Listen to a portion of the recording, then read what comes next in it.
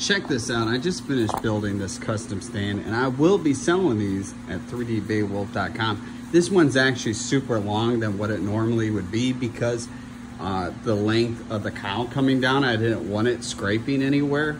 And uh, yeah, I 3D printed this whole, everything you see is 3D printed, hand painted. And uh, I wore this to the premiere when they had The Flash. Huge fan of Michael Keaton and this is the Batman cowl that's wearable. This was very, I had to print so many of these to get it to fit just right.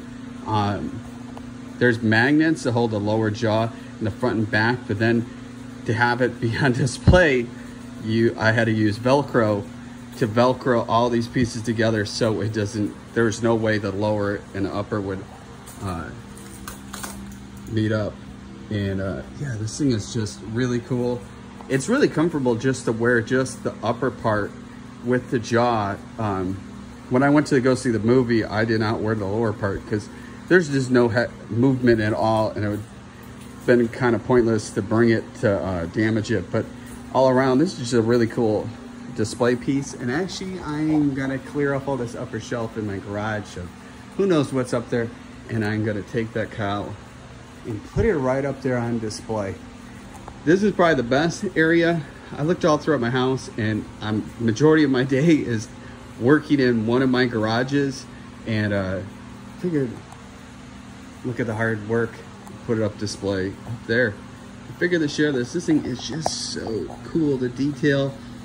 Uh, this is my first time spraying with a flat, with a uh, flat black, matte black, with a clear coat.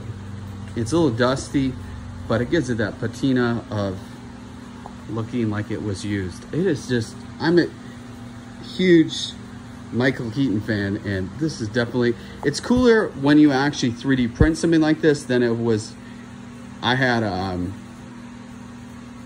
Christopher Nolan Batman cosplay, full costume, and you just know that that wouldn't last for a long period of time. It would start wearing out, you know, all the materials being used. And with something like this that's plastic, there's going to get a long shelf life with having this on display that is just way cooler when you actually build something uh, to say, hey, I built this